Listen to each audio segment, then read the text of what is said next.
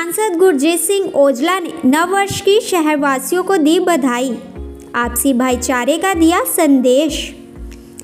अमृतसर से सांसद गुरजीत सिंह ओजला ने शहरवासियों को नववर्ष की बधाई दी और आपसी भाईचारे का संदेश देते हुए सभी को मिलजुल कर रहने, ज़रूरतमंदों की मदद करने व प्रेम प्यार से रहने के लिए कहा। साथ ही उन्होंने जनता से अपील की कि वह लॉ एंड ऑर्डर की स्थिति को कायम रखने के लिए पुलिस प्रशासन को पूरा सहयोग दे। सांसद ओजला ने कहा कि नया साल एक नई शुरुआत को दर्शाता है और हमेशा आगे बढ़ने की सीख भी देता है। उन्होंने कहा कि पुराने साल में हम सबने जो भी किया, सीखा, सफल या असफल हुए, उससे सीख लेकर एक नई उम्मीद के साथ आगे बढ़ते हुए देश को तरक्की की ओर ले जाना है। ਸਤਿ ਸ੍ਰੀ ਅਕਾਲ ਜੀ। ਸਾਰਿਆਂ ਨੂੰ ਹੀ ਪਿਆਰ ਭਰੀ ਸਤਿ ਸ੍ਰੀ ਅਕਾਲ। ਅੱਜ ਆਪਾਂ 2022 ਦਾ ਜਿਹੜਾ 31 ਦਸੰਬਰ ਦਾ ਦਿਨ ਹੈ, ਉਹਦੇ ਖੀਰਲੇ ਪਲਾਂ 'ਚ ਦਾਖਲ ਹੋ ਗਏ ਆ ਕਿਉਂਕਿ ਚੰਦ ਘੰਟਿਆਂ ਦੇ ਬਾਅਦ 2023 ਜਿਹਦੇ ਵੈਲਕਮ ਵਾਸਤੇ ਅਸੀਂ ਸਾਰਿਆਂ ਨੇ ਜੀ ਆਇਆਂ ਵੀ ਕਹਿਣਾ ਹੈ। ਔਰ ਅੱਜ ਬੜੇ ਵੱਡੇ ਜਸ਼ਨ ਤਕਰੀਬਨ ਆਸਟ੍ਰੇਲੀਆ, ਨਿਊਜ਼ੀਲੈਂਡ ਤੋਂ ਚੱਲਦੇ ਨੇ ਤੇ ਇਸ ਖਿੱਤੇ ਨੂੰ ਆਪਣੇ ਏਸ਼ੀਆ ਤੋਂ ਹੁੰਦੇ ਹੋਏ ਅਮਰੀਕਾ, ਕੈਨੇਡਾ, ਕਿਉਂਕਿ ਉੱਥੇ ਦਿਨ ਅਜੇ ਥੋੜਾ ਲੇਟ ਹੋਣਾ ਹੈ 12 ਵਜੇ ਰਾਤ ਦੇ। ਸੋ 2022 ਜਦੋਂ 21 ਮੁੱਕਿਆ ਸੀ 22 ਆਇਆ ਸੀ, ਉਹੀ ਖੁਸ਼ੀਆਂ, ਉਹੀ ਖੇੜੇ ਉਦੋਂ ਸੀ। ਔਰ 2022 ਬਹੁਤ ਵਧੀਆ ਵੀ ਲੰਘਿਆ ਹੈ ਔਰ ਕਈ ਦੁਖਦਾਈ ਘਟਨਾਵਾਂ ਵੀ ਵਾਪਰੀਆਂ ਨੇ। ਕਈਆਂ 'ਚ ਬਹੁਤ, ਕਿਉਂਕਿ ਜਿਹੜੇ ਦੁੱਖ ਤੇ ਸੁੱਖ ਹੈ, ਦੋਵੇਂ ਤਰ੍ਹਾਂ ਦੀਆਂ ਜ਼ਿੰਦਗੀ ਦੇ ਨਾਲ ਘਟਨਾਵਾਂ ਰਹਿਣੀਆਂ ਹੀ ਨੇ ਸਾਡੇ। ਔਰ ਇਹ ਹਰ ਬੰਦੇ ਦੀ ਜ਼ਿੰਦਗੀ 'ਚ ਆਉਂਦੀਆਂ ਨੇ। ਦੁੱਖ ਸੁੱਖ ਕਿਉਂਕਿ ਦੋਵੇਂ ਚੰਗੀਆਂ। ਚੀਜ਼ਾਂ ਕਹਿ ਸਕਦੇ ਕਿਉਂਕਿ ਇਹ ਦੋਵੇਂ ਚੀਜ਼ਾਂ ਦਾ ਜ਼ਿਕਰ ਹੈ ਕਿ ਇਹਨਾਂ ਨਾਲ ਨਾਲ ਹੀ ਚੱਲਣਾ ਹੈ। ਖੈਰ, ਖੁਸ਼ੀ ਜਿਹੜੀ ਵੰਡਾਈਏ ਤੋਂ ਵੱਧਦੀ ਹੈ, ਦੁੱਖ ਸਾਂਝਾ ਕਰੀਏ ਤੋਂ ਘਟਦਾ ਆ ਸੋ ਪਿਛਲਾ ਸਮਾਂ ਜਿਹੜਾ ਲੰਘਿਆ 2022 ਦਾ, ਉਹ ਵੀ ਠੀਕ ਲੰਘ ਗਿਆ ਸਮਾਂ।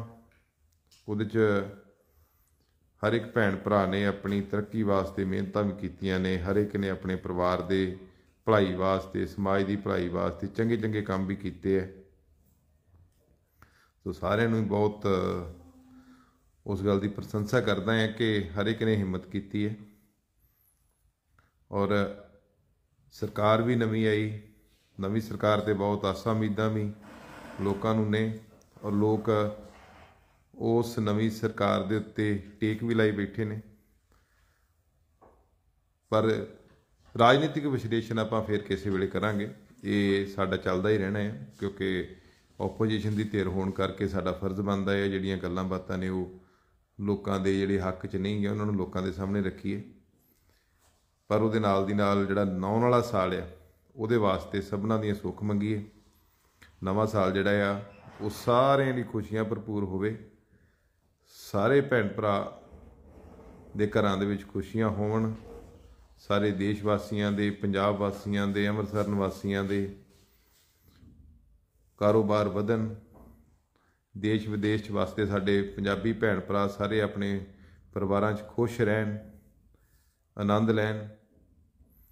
ਔਰ ਪਰਮਾਤਮਾ ਮੈਨੂੰ ਵੀ ਹਿੰਮਤ ਬਖਸ਼ੇ ਕਿਉਂਕਿ ਜਿਸ ਤਰੀਕੇ ਦੇ ਨਾਲ ਅੰਮ੍ਰਿਤਸਰ ਦੇ ਮੁੱਦਿਆਂ ਦੇ ਉੱਤੇ ਪਿਛਲੇ ਸਮੇਂ 'ਚ ਜਦੋਂ ਦੇ ਮੈਂਬਰ ਪਾਰਲੀਮੈਂਟ ਦੋ ਵਾਰੀ ਤੁਸੀਂ ਬਣਾਇਆ, ਇੱਕ ਵਾਰੀ 2017 'ਚ ਫਿਰ ਤੁਸੀਂ 2019 'ਚ। ਔਰ ਮੈਂ ਕੋਸ਼ਿਸ਼ ਕੀਤੀ ਹੈ ਕਿ ਵੱਧ ਤੋਂ ਵੱਧ ਕੰਮ ਕੀਤਾ ਜਾ ਸਕੇ। ਔਰ ਇਹ ਔਨ ਰਿਕਾਰਡ ਹੈ ਕਿ ਪਰਮਾਤਮਾ ਨੇ ਉਸ ਕੋਸ਼ਿਸ਼ ਨੂੰ ਬੂਰ ਵੀ ਪਾਇਆ ਔਰ ਧਰਾਤਲ ਦੇ ਉੱਤੇ ਕੰਮ ਵੀ ਹੋਏ ਆ। ਸੋ ਕੋਸ਼ਿਸ਼ ਹਮੇਸ਼ਾ ਹੀ ਅੰਮ੍ਰਿਤਸਰ ਦੀ ਤਰੱਕੀ ਨੂੰ ਲੈ ਕੇ, ਅੰਮ੍ਰਿਤਸਰ ਦੇ ਪੱਖ ਨੂੰ ਲੈ ਕੇ ਹਮੇਸ਼ਾ ਹੀ ਰਹੀ ਹੈ ਕਿ ਚੰਗਾ ਮਾਹੌਲ ਸਿਰਜ ਕੇ ਦਈਏ, ਸਾਡੀ ਜ਼ਿੰਮੇਵਾਰੀ ਬਣਦੀ ਹੈ। ਕਿਉਂਕਿ ਲੋਕਾਂ ਨੇ ਸਾਨੂੰ ਆਸ ਉਮੀਦ ਦੇ ਨਾਲ ਚੁਣਿਆ ਹੁੰਦਾ।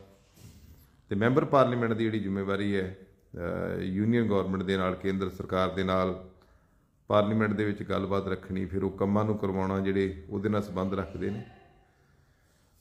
ਸੋ ਉਹ ਹਿੰਮਤ ਪ੍ਰਮਾਤਮਾ ਫੇਰ ਬਖਸ਼ਦਾ ਰਵੇ ਔਰ ਉਸੇ ਤਰੀਕੇ ਦੇ ਨਾਲ, ਜਿਸ ਤਰੀਕੇ ਨਾਲ ਪਿਛਲੇ ਸਮੇਂ ਦੇ ਵਿੱਚ ਅੰਮ੍ਰਿਤਸਰ ਵਾਸਤੇ ਖੜੇ ਆ ਜਿਸ ਤਰੀਕੇ ਦੇ ਨਾਲ ਅੰਮ੍ਰਿਤਸਰ ਦੀ ਆਵਾਜ਼ ਬੁਲੰਦ ਕੀਤੀ ਹੈ ਔਰ ਪੈ ਹਰ ਇੱਕ ਦੇ ਦੁੱਖ ਸੁੱਖ 'ਚ ਸ਼ਾਮਲ ਵੀ ਹੋਏ ਆ ਉਹ ਹਿੰਮਤ ਤੁਹਾਡੇ ਪਿਆਰ ਸਦਕਾ ਬਰਕਰਾਰ ਰਵੇ। ਕਿਉਂਕਿ ਗੁਰੂਆਂ ਦੀ ਨਗਰੀ ਹੈ। ਇੱਥੇ ਬਹੁਤ ਲੋਕ ਦੂਰ ਦੂਰਦਾਰ ਦਰਾਡਿਆਂ ਤੋਂ ਦਰਸ਼ਨਾਂ ਲਈ ਆਉਂਦੇ ਨੇ। ਕੁਝ ਦਰਸ਼ਨ ਮੇਲੇ ਕਰਦੇ ਨੇ ਔਰ ਕੁਝ ਪਰਮਾਤਮਾ ਦੇ, ਕਿਉਂਕਿ ਹਰੇਕ ਨੇ ਕੋਈ ਨਾ ਕੋਈ ਸੁੱਖ ਮੰਗ ਮੰਗੀ ਹੁੰਦੀ ਪਰਮਾਤਮਾ ਤੋਂ, ਉਹਦੇ ਵਾਸਤੇ ਆਉਂਦੇ ਨੇ। ਔਰ ਗੁਰੂ ਨਗਰੀ ਹੈ, ਸਾਰਿਆਂ ਵਾਸਤੇ, ਸਾਰੇ ਵਰਗਾਂ ਲਈ, ਸਾਰੇ ਧਰਮਾਂ ਲਈ ਖੁੱਲੀ ਹੈ। ਔਰ ਸਾਰੇ ਲੋਕ ਇੱਥੇ ਬੜੇ ਚਾਅ ਦੇ ਨਾਲ ਆਉਂਦੇ ਨੇ। ਇੱਕ ਵਾਹਿਦ ਨਗਰੀ ਹੈ ਜਿੱਥੇ ਸਵਾ ਲੱਖ, ਡੇਢ ਲੱਖ ਟੂਰਿਸਟ ਰੋਜ਼ ਆਉਂਦਾ ਹੈ।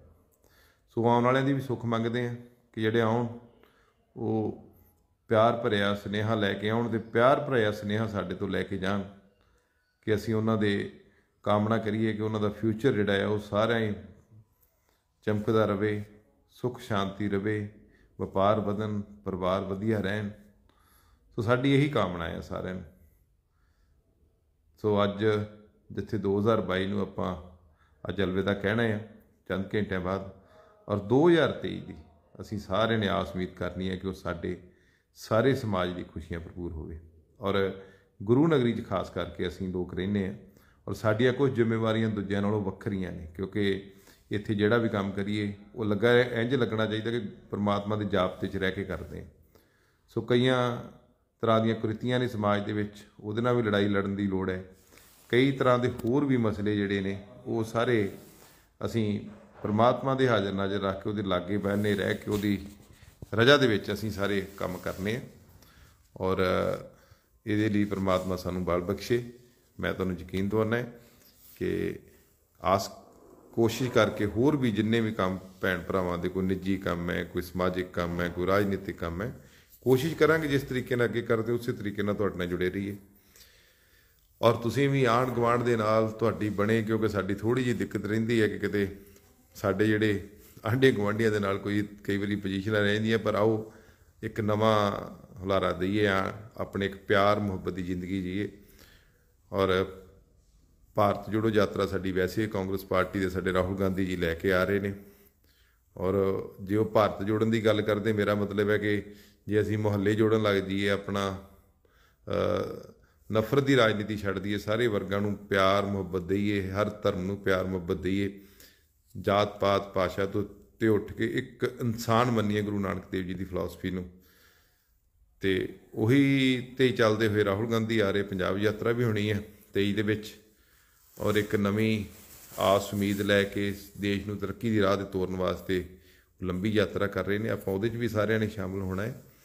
ਤੇ ਆਪਾਂ ਵੀ ਸਾਰੇ ਜਿੱਥੇ ਜਿੱਥੇ ਬੈਠੇ ਉੱਥੇ ਮੁਹੱਬਤ ਦਾ ਸੁਨੇਹਾ ਹੀ ਦਈਏ, ਕਿਉਂਕਿ ਖਾਸ ਕਰ ਕਿਸੇ ਦੇ ਧਰਮ ਪ੍ਰਤੀ ਜਦੋਂ ਤੁਸੀਂ ਮੁਹੱਬਤ ਦੇ ਅਲਫਾਜ਼ ਚਾਰ ਬੋਲਦੇ ਜੇ, ਕਿਸੇ ਦੀ ਤਾਰੀਫ ਕਰਦੇ ਜੇ, ਤੇ ਕੁਦਰਤੀ ਗੱਲ ਹੈ, ਉਧਰੋਂ ਮੁਹੱਬਤ ਤੁਹਾਨੂੰ ਦੂਣੀ ਹੋ ਕੇ ਮਿਲਦੀ ਹੈ। ਸੋ, ਉਹ ਜਿਹੜੀ ਤਾਰੀਫ ਹੈ, ਉਹ ਆਪਾਂ ਉਸੇ ਤਰ੍ਹਾਂ ਹੀ ਰੱਖੀਏ। ਔਰ ਮੈਨੂੰ ਆਸ ਹੈ ਕਿ ਇਸੇ ਤਰ੍ਹਾਂ ਹੀ ਆਪਾਂ ਪੰਜਾਬ ਨੂੰ, ਆਪਣੇ ਦੇਸ਼ ਨੂੰ ਅੱਗੇ ਲਿਜਾਣ ਵਾਸਤੇ ਸਾਰੇ ਆਪੋ ਆਪਣੀਆਂ ਡਿਊਟੀਆਂ ਨਿਭਾਵਾਂਗੇ। ਅੱਜ ਦੇ ਦਿਨ ਫੋਰਸਿਸ ਸਾਡੀਆਂ ਪੁਲਿਸ ਵਾਲੇ ਵਿਚਾਰੇ ਅੱਜ ਲਾਅ ਐਂਡ ਆਰਡਰ ਨੂੰ ਸਹੀ ਕਰਨ ਵਾਸਤੇ ਸੜਕਾਂ ਦੇ ਉਹਨਾਂ ਦਾ ਵੀ ਸਮਰਥਨ ਕਰੀਏ। ਉਹਨਾਂ ਦੇ, ਕਿਉਂਕਿ ਇੰਨੀ ਕੜਕਦੀ ਠੰਡ ਦੇ ਵਿੱਚ ਬੜੀ ਸਖਤ ਡਿਊਟੀ ਹੁੰਦੀ ਹੈ, ਉਹ ਦੇ ਰਹੇ ਨੇ। ਪ੍ਰਿੰਟ ਮੀਡੀਆ ਵੀ ਉਹਨਾਂ ਦੇ ਉੱਤੇ ਨਿਗਾਹ ਰੱਖਣ ਨੂੰ ਵੀ ਚੱਲ ਰਿਹਾ ਹੈ। ਸੋ ਜਿੱਥੇ ਆਪਾਂ ਬਾਕੀ ਸਾਰੀਆਂ ਚੀਜ਼ਾਂ ਦਾ ਖਿਆਲ ਰੱਖਣਾ ਹੈ। ਉੱਥੇ ਇਹਨਾਂ ਚੀਜ਼ਾਂ ਦਾ ਵੀ ਖਿਆਲ ਰੱਖਣਾ ਕਿ ਕਾਨੂੰਨ ਜਾਬਤੇ 'ਚ ਰਹਿ ਕੇ ਨਵਾਂ ਸਾਲ ਮਨਾਈਏ। ਕੋਈ ਅਜਿਹਾ ਕੰਮ ਨਾ ਕਰੀਏ ਜਿਹੜਾ ਸਾਡੇ ਵਾਸਤੇ ਕੋਈ ਦੁਖਦਾਈ ਹੋਵੇ ਜਾਂ ਕਿਸੇ ਦੂਜੇ ਪ੍ਰਤੀ ਕੋਈ ਦੁਖਦਾਈ ਹੋਵੇ। ਸੋ ਮੈਨੂੰ ਆਸ ਹੈ ਕਿ ਤੁਸੀਂ ਆਪੋ ਆਪਣੇ ਘਰਾਂ ਦੇ ਵਿੱਚ, ਪਰਿਵਾਰਾਂ ਦੇ ਵਿੱਚ, ਯਾਰਾਂ ਦੋਸਤਾਂ ਦੇ ਵਿੱਚ ਵਧੀਆ ਜਿਹਾ ਨਵਾਂ ਸਾਲ ਮਨਾਓਗੇ, ਜਿਹੜਾ ਇੱਕ ਯਾਦਗਾਰੀ ਪਲ ਤੁਹਾਡੇ ਜ਼ਿੰਦਗੀ ਦਾ ਬਣੇਗਾ। ਸੋ ਸਾਰਿਆਂ ਨੂੰ ਬਹੁਤ ਬਹੁਤ ਵਧਾਈ ਬਹੁਤ ਬਹੁਤ ਮੁਬਾਰਕਾਂ। ਨਵੇਂ ਸਾਲ ਦੀਆਂ ਪਰਮਾਤਮਾ ਕਰੇ, ਖੁਸ਼ੀਆਂ ਖੇੜੇ ਸਾਡੇ, ਇਸੇ ਤਰੀਕੇ ਨਾਲ ਬਰਕਰਾਰ ਰੱਖੇ ਔਰ ਸਭਨਾ ਦੇ ਪਰਿਵਾਰਾਂ 'ਚ, ਰਿਸ਼ਤੇਦਾਰਾਂ 'ਚ, ਯਾਰਾਂ ਦੋਸਤਾਂ 'ਚ, ਦੇਸ਼ ਵਿਦੇਸ਼ ਬੈਠੇ ਸਾਡੇ, ਇੰਡੀਅਨ ਵਾਸਤੇ ਖਾਸ ਕਰ ਪੰਜਾਬੀ ਭੈਣਾਂ ਭਰਾਵਾਂ ਦੇ ਵੀ ਕਾਰੋਬਾਰ ਵਧਣ ਔਰ ਉਹਨਾਂ 'ਚ ਵੀ ਖੁਸ਼ੀਆਂ ਖੇੜੇ ਬਰਕਰਾਰ ਰਹਿਣ। ਹੈਪੀ ਨਿਊ ਇਅਰ ਨਵੇਂ ਸਾਲ ਦੀਆਂ ਬਹੁਤ ਬਹੁਤ ਵਧਾਈਆਂ।